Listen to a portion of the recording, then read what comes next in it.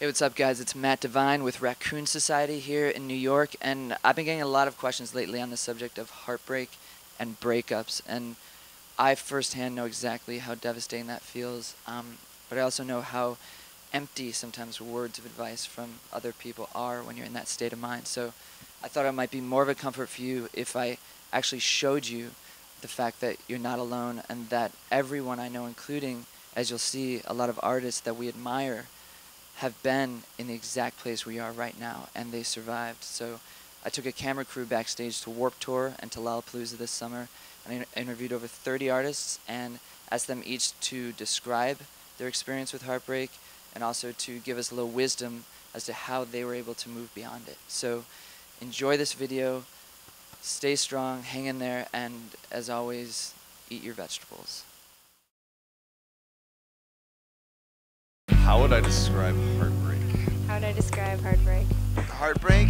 Oh my god. To me, It's something that feels really lonely because it feels like you're the only one that has been there before. It like sucks worse than anything. It makes you feel like you don't know yourself. It feels like poison in your blood. The whole world is closing in on you. Getting hit by a Mack truck. almost like physical pain, you know, like pit of your stomach. You feel like somebody shot you in the stomach. You feel like someone is sitting on your chest and you physically can't get them off. It's a heavy burden to carry. like I just felt like my rib cage was being shattered. Emptiness that's not fillable by anything else. Kind of like losing a best friend. I know that I went through a depression for probably about three weeks. It's terrible in the moment, but usually kind of ends up being like, oh, that happened because this other thing needed to. Yeah, they might have broke my heart, they might have hurt me, but I'm glad to be where I am now. It's fucking brutal. I'm sorry, I'm getting emotional about it right now. Try and think logically and rationally. Sharing usually usually helps, you know, and not like over like internet sharing, but like like actual real like personal share.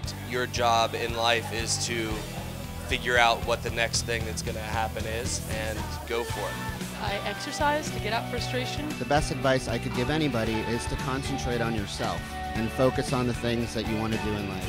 Focus your energy and whatever emotions you feel on doing something creative. Write it down. For, for me, it always helps to look at it on paper. I'm happier when I'm helping other people. Pain can be a growing experience. As painful as it is, it does force you to become a stronger person. Don't do anything drastic just because you know the pain is so bad. Maybe at the moment. Don't go out and get wasted and just kind of, you know, whatever, take drugs and things like that. You can't make someone fall in love with you with a song. Do the things that you never did before. It's not replacing, it's kind of like filling the gap. You have to live your life. It's not over.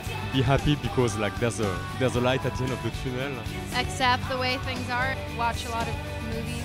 Keep your head above water. I would say surround yourself with people that, you, that are close to you. Crying regularly makes you more of a man. It's okay to hurt and to feel and move on, have some self-respect. It can always be worse. It's going to get better, you know. It always gets better. Know that everybody goes through it.